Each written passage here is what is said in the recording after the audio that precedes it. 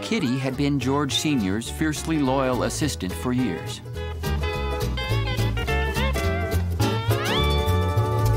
And Michael suspected that she had the information he needed. Kitty, listen, you wouldn't know if we had any documentation on these international accounts, would you? That's actually not any of your business. My business. That's not any of my business. Gob, can I, uh, get you to stop doing that? Uh, just setting up an office. Gotta write a strongly worded letter to one Warden James Buck. In order to restore his career as an escape artist, Gob had recently checked into prison as a publicity stunt. You really think you can break out of my prison? You won't even know I was here. But after a shiv to his side, Gob was rushed to a local hospital, thus fulfilling in Gob's mind his contract with the public. Ta-da! And yet the warden had refused to acknowledge the legitimacy of the escape. So I am going after this guy with everything I've got. Art. Now we are writing a letter. Gob? Well, I wish I would have known you were coming. I am a mess. Don't know if a call from me would have changed that. Do you like my outfit? Not as much as I like what's underneath it. Gob. No, I need your chair. Get up. I've got a letter to write. Ooh, you're all business. Just like your dad. My God, she's repulsive.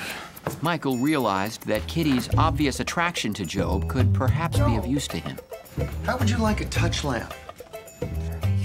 You're the one who needs Meanwhile, Lindsay and Tobias prepared for their first session with a therapist. therapy. Yes, Tobias, I want the marriage to work. I just don't know if therapy is the answer. Oh, right. Because you didn't respect my old career, and you certainly don't respect my new one. You don't have a new one.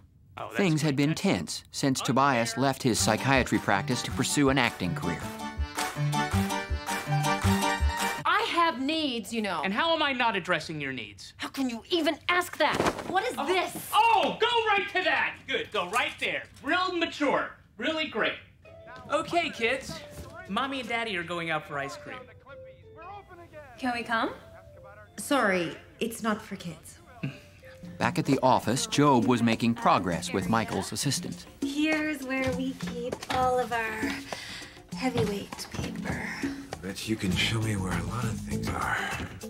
What kind of things are you looking for? What are, what are you hiding? Nothing you can't find. Wait a second. Wait, wait, wait. Take off your glasses.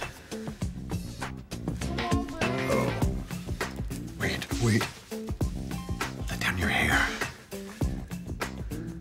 down your hair. No, glasses on, hair back up. Now, let's just get that hair right back up. Want me to turn the lights off? What about that? Yes, yes, please. How's that? Is that better? It just seems like there's still light coming in from under the door.